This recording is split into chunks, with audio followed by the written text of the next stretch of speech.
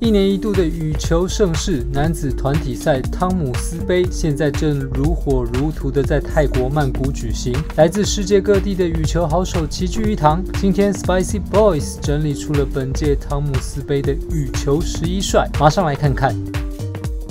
首先打头阵的是去年跌破众人眼镜，拿下世锦赛冠军，来自新加坡的骆建佑。他和世界排名第一的安塞龙一起训练之后，实力大幅跃进。现在他在场上流畅的动作、惊人的跳跃力与击球的爆发力，都造成其他选手很大的威胁。现在世界排名第十的他，绝对有机会更上一层楼。Zin and Swain. I love and you of Singapore becomes the world champion. He can hardly believe it. Rushes off to embrace his coach Kelvin Holt. 接下来是一对亲兄弟，哥哥 Thomas Junior Popov 和弟弟 Crystal Popov，他们是法国国内一线的羽球选手。他们除了各自打单打的比赛之外，也一起打双打。To all our fans who are celebrating New Year, we wish you a happy New Year and good fortune for the year ahead. Take care. 接下来的这两位不是兄弟，但长得很像，球风也很像。来自台湾的王子维，现在世界排名第十五，最高的排名曾经来到世界第九。来自英国的 Johnny Torreson，现在的排名则是两百零三名。两人的排名有落差，要面对的问题也各有不同。但是体力不好，似乎是两个人共同的难题。来自德国的肖圣杰是今年羽球迷在看比赛时绝对会发现的宝藏男孩。他的世界排名目前在两百零五名，所以想要在国际顶级赛事上看见他的身影仍然有点困难。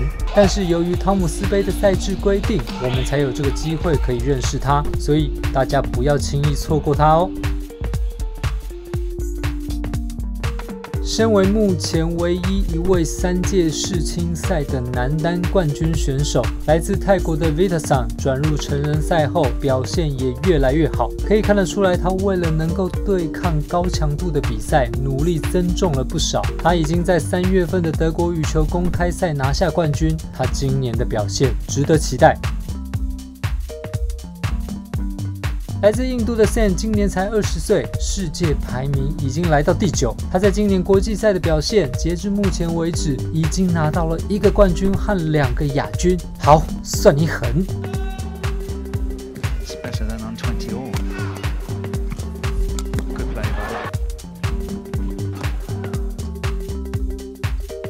来自丹麦的安东森，世界排名第三，是本次介绍的选手中世界排名最高的。他的发型的多变程度，我想也是最多的。他也有在经营 YouTube 频道，常常会访问一些其他的选手。想看球员间私底下的互动，或是一些比赛的幕后 Vlog，可以追踪他的频道哦。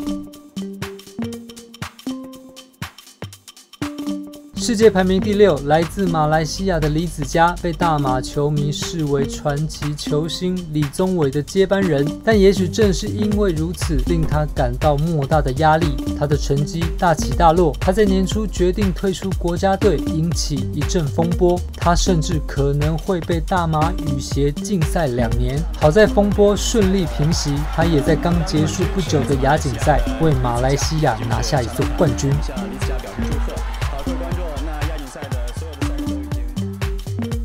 最后一位是来自印尼的 Christy，提到他绝对不能忘记他在2018年赢得雅加达亚运冠军后的这一托。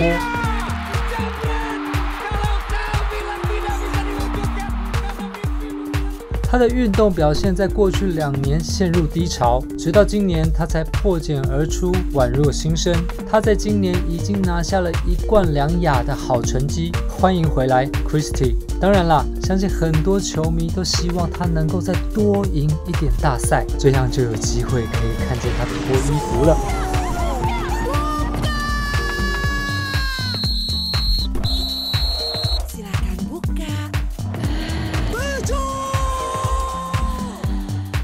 以上这十一位，你最喜欢哪一位呢？欢迎在底下留言告诉我。谢谢你的收看，下支影片再见。